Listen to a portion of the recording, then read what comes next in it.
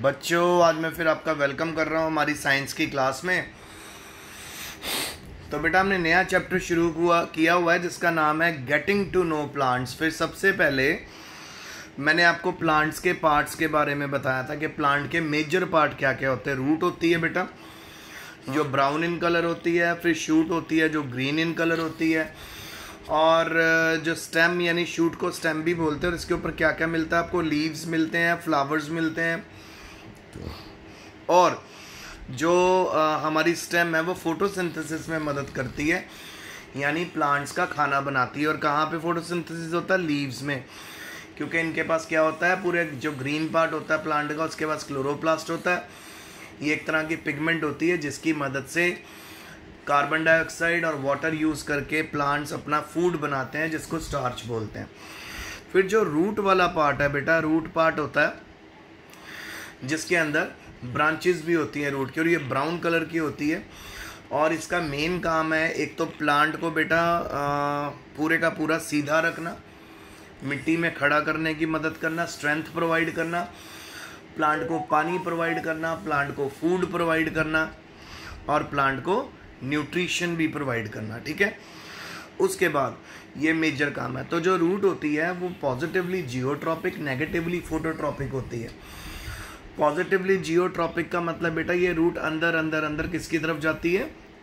Ground की तरफ़ gravity की तरफ़। और जो शूट या स्टेम होती है, वो पॉजिटिवली फोटोट्रॉपिक होती है। फोटोट्रॉपिक का मतलब होता है, ये किसकी तरफ़ जाती है? टुवर्ड्स द लाइट फिर मैंने आपको बेटा तीन चीज़ें बताई थी हर्ब्स श्रब्स एंड ट्रीज तो जो प्लांट होते हैं, वो मेजर तीन भाग में डिवाइडेड है। हर्ब्स जो बहुत ही छोटे प्लांट होते हैं, जिनकी स्टेम बहुत वीक होती है श्रब्स जो हमारे साइज़ के प्लांट होते हैं और जिनकी जो स्टेम होती है, वो वुडी होती है हार्ड होती है ट्रीज जो हमारी हाइट से भी बहुत बड़े प्लांट होते हैं, ठीक है? उनको ट्रीज बोलते हैं। फिर बेटा, उसके बाद मैंने आपको करवाया था क्रीपर्स एंड क्लाइंबर्स क्रीपर्स होते हैं बेटा, जो बिल्कुल सीधे नहीं कभी उग सकते, ठीक है? सीधे क्यों नहीं उग सकते? क्योंकि ये वीक होते हैं। वीक होने के कारण ये सीधे नहीं उगते। तो ये हमेशा ग्राउंड के साथ साथ साथ चलते हैं। क्रीपर्स हमेशा ग्राउंड के साथ चलते हैं। ठीक है? उसके बाद आ, हमारे पास आया था क्लाइंबर्स क्लाइंबर्स वो होते हैं जो क्लाइंब करते हैं ऊपर की तरफ़ पर उनको सपोर्ट की बहुत ज़रूरत होती है। जैसे ग्रेप वाइन हो गई जैसे आपका मनी प्लांट हो गया, इस प्लांट को ऊपर चढ़ने की बहुत नीड होती है सपोर्ट के बगैर ये ग्रो नहीं करता। तो आपने नोटिस किया होगा कि मनी प्लांट का हमेशा जो सबसे लंबी उसकी ब्रांच होती है, जो स्टेम होती है, उसको हम धागे से बाँध के सपोर्ट पे लगा देते हैं। तो उस धागे से होती हुई सपोर्ट के ऊपर ग्रो करने लग जाती है ना? तो आज के लेक्चर में सबसे पहले हमारे पास है स्टेम क्या तो बेटा, अगर आप किसी भी प्लांट को बहुत क्लोजली ऑब्ज़र्व करोगे स्टेम को अलग अलग क्लोजली ऑब्ज़र्व करोगे, हर प्लांट की जो स्टेम होगी मेजर 99.9 परसेंट वो हरे रंग की होगी। अब वो हरे रंग की क्यों होगी बेटा? क्योंकि उसको फोटोसिंथेसिस करना है, उसको खाना बनाना है और प्लांट का जो खाना होता है ना, वो होती है स्टार्च स्टार्च प्लांट का खाना होती है।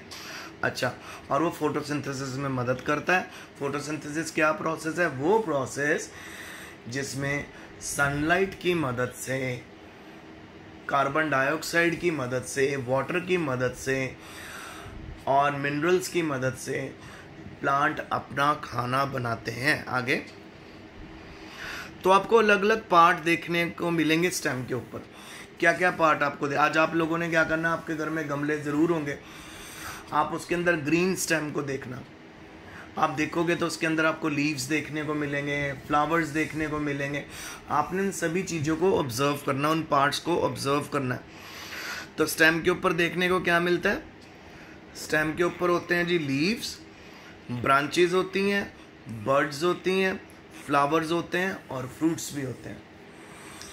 तो leaves branches birds flower and fruits flower और फ्रूट्स के बारे में तो आपको पता है बर्ड्स के बारे में बता देता हूँ आपको। बर्ड होता है बेटा, वो एक छोटे सा अपर्चर होता है जो धीरे धीरे प्लांट में, क्या? प्लांट के ऊपर प्रेजेंट होता है और ये धीरे धीरे फ्रूट्स में कन्वर्ट होता है, या फ्लावर में कन्वर्ट हो जाता है।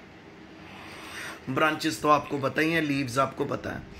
तो आइए, हम एक एक्टिविटी करके देखते हैं, जिससे हमारी जो नॉलेज है, वो थोड़ी और एनहेंस हो जाएगी।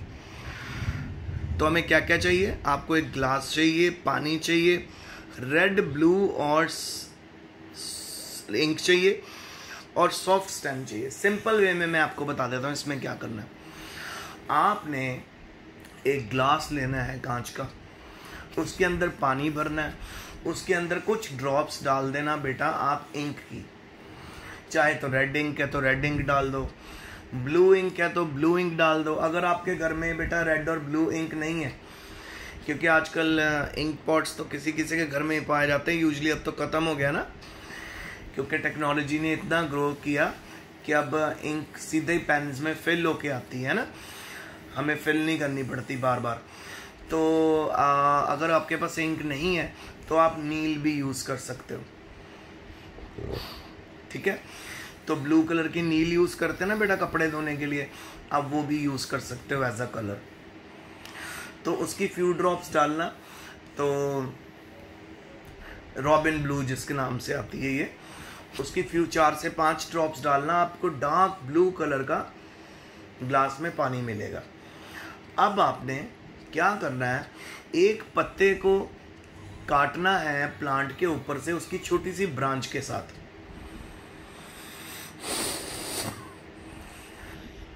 अब ये जो पत्ता आपने काटा है ब्रांच के साथ, इसको आप डाल दो जी ग्लास के अंदर। और ग्लास के अंदर डालने के बाद आप उसको एज इट इज़ छोड़ दो। ठीक है? एटलीस्ट चार से पाँच घंटे के लिए छोड़ दो। तो चार से पाँच घंटे के बाद आप नोट करोगे कि जो लीव्स आपको ब्लू कलर के लाइट ब्लू कलर का लीव लगने लग जाएगा। ब्रांच भी आपको ब्लू कलर की लगने लग जाएगी हल्की हल्की। ऐसा क्यों हुआ? जैसे हमारी बॉडी में छोटी छोटी आर्टरीज और वेन्स होती हैं जिनमें ब्लड पंप होता है ब्लड चलता है उसी तरह आ, प्लांट में भी एक पर्टिकुलर टिश्यू चलता है जो आप बड़ी क्लास में जाकर और अच्छे से पढ़ोगे नाइन्थ में शुरू हो जाता है ये जाइलम और फ्लोएम जाइलम मदद करता है बेटा वाटर ट्रांसपोर्ट में फ्लोएम मदद करता है फ़ूड ट्रांसपोर्ट में। तो ये जो लिक्विड ऊपर राइज हुआ है, ये जो लिक्विड ऊपर चढ़ा है, ठीक है, वो क्यों चढ़ा है? क्योंकि यहाँ पे जाइलम वेसल्स हैं और वेन्स होती हैं लीव्स में तो आपको पता चलेगा कि हमारा जो प्लांट है, वो वाटर फ़ूड को वाटर और फ़ूड को कंडक्ट करता है। तो इस एक्सपेरिमेंट से ये प्रूव हुआ। आइए देखें पढ़ते हैं। तो आपको ग्लास चाहिए इंक चाहिए सॉफ्ट स्टैम्प चाहिए। पानी डालिए ग्लास में वन थर्ड और कुछ ड्रॉप्स आप रेड या ब्लू इंक के डालो या ब्लू आपको मैंने बताया था अभी जो रॉबिन ब्लू डाल दो या फिर आप नील डाल दो, फिर आप उस स्टेम का बेस काट कर कट कर दो और उसको ग्लास में डाल दो, जैसे यहाँ पे दिखाया हुआ, ठीक है? ये हमने डाल के इसको छोड़ देना। इस सेटअप को ऑब्ज़र्व करो। क्या कलर में, के चेंज में कोई अपीरेंस आई स्टेम के आप नोटिस करोगे धीरे धीरे जो कलर है वो स्टेम के अंदर आ जाएगा। अगर हम इसको ज़्यादा समय के लिए छोड़ देंगे एपरेटस को एज इट इज़ तो जो लीव्स होते हैं, उनकी वेन्स के अंदर भी लीव्स की वेन्स के अंदर भी कलर आ जाएगा। तो बेटा वेन्स पता है क्या होते हैं? लीव्स के अंदर जो लाइनें चलती हैं ना, ये देखो लीव में लाइनें चल रही हैं, इनको वेन्स बोलते हैं। तो इस एक्टिविटी से हमें क्या पता चला कि स्टेम मदद करती है वाटर को अपवर्ड मूव करने में। तो वाटर और मिनरल लीव्स तक पहुँचते हैं प्लांट पार्ट्स के साथ अटैच होती स्टेम तो वाटर और मिनरल्स लीव तक किस तरह पहुँचते हैं? With the help of stem तो अगर आप इस स्टेम को बाहर निकाल के कट करके माइक्रोस्कोप में देखोगे तो ऐसा आपको सर्कल मिलेगा। तो उसके अंदर आपको जगह जगह पे ग्रीन कलर की इंक मिलेगी। तो यानी इस स्टेम ने वाटर को कंडक्ट किया था। ओके बेटा, अब हमारे पास एक लीफ आ गया कि लीफ के पार्ट्स क्या क्या। पहले मैं आपको लीफ के पार्ट दिखा देता हूँ। ये देखो बेटा। ये है हमारा एक लीफ ये है स्टेम ये बीच में आती है ब्रांच और जहाँ से लीफ शुरू होता है, जो उसका बेस होता है, उसको पीटियोल बोलते हैं। और जो लीफ का मार्जिन होता है लीफ का मार्जिन को लेमिना भी बोल देते हैं ब्लेड भी बोल देते हैं। ठीक है? सो so, लीफ के मार्जिन को लेमिना भी बोल देते हैं ब्लेड भी बोल देते हैं और उनमें ढेर सारी वेन्स होती हैं। तो आइए थोड़ा डिटेल में पढ़ते हैं इसको। देखो जी। आपको क्या करना है? ऑब्ज़र्व करना है लीव्स कुछ प्लांट्स के लीव्स को ऑब्ज़र्व करना और आपने देखना उनको ड्रॉ भी करना अपनी नोटबुक में। क्या सारे लीव सेम होंगे? शेप और कलर में? एक तो बात है जी कलर तो नहीं। मैक्सिमम ग्रीन कलर के लीव्स मिलेंगे, पर शेप आपको अलग अलग मिलेंगी। अलग अलग प्लांट की अलग अलग शेप होती है, पर एक कॉमन शेप होती है इस तरह की।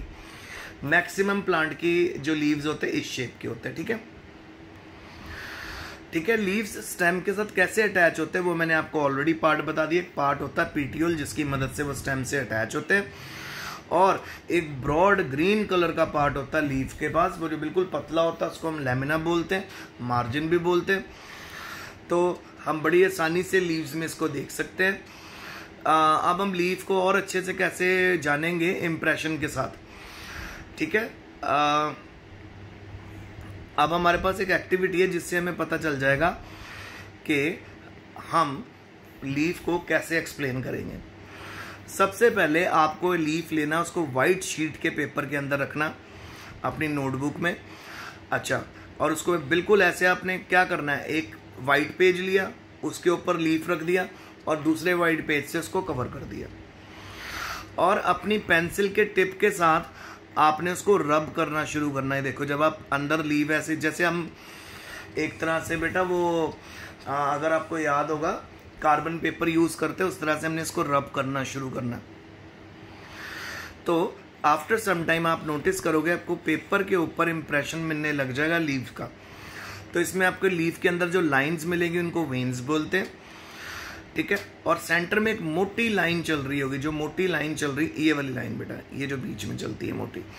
और इस लीव में भी दिख रही है, देखो, ये देखो, ये जो बीच वाली लाइन है, इसको मिड्रिप बोलते हैं। और इसके अराउंड जो पतली लाइनें चलती हैं, उनको वेन्स बोलते हैं। और इसको लीव वेनेशन बोलते हैं। लीव वेनेशन के बारे में बड़ी क्लासेस में आपको पढ़ाया जाएगा, इनकी टाइप्स के बारे में। तो अगर तो लीफ में वेनेशन चल रही है जिग ऑर्डर में, ये देखो।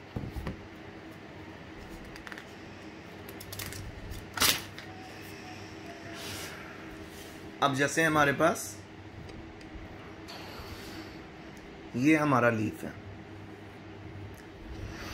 ये सेंटर में चल रही है बेटा मिड ठीक है? इसको बोलते हैं मिड अगर तो लीव्स में वेन ऐसे चल रही हैं जिगजैग ऑर्डर में तो इसको बोलते हैं रेटिकुलेट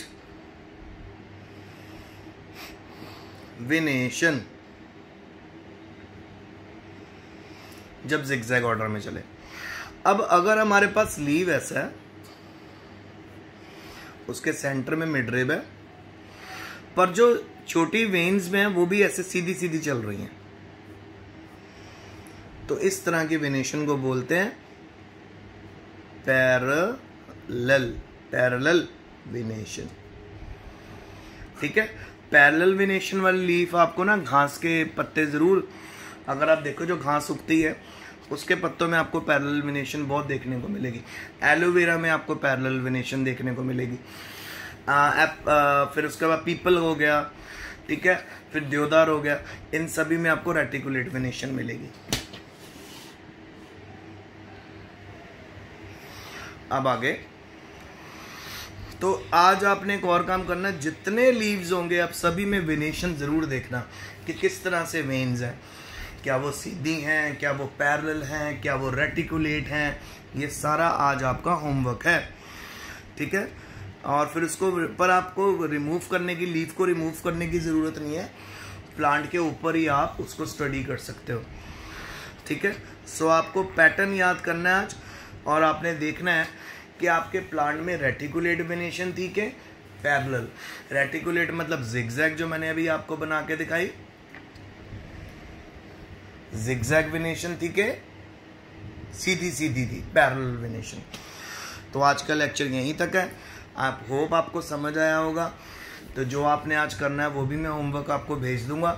तो आज तक के लिए इतना। है signing off for today best of luck stay home stay stay safe and study hard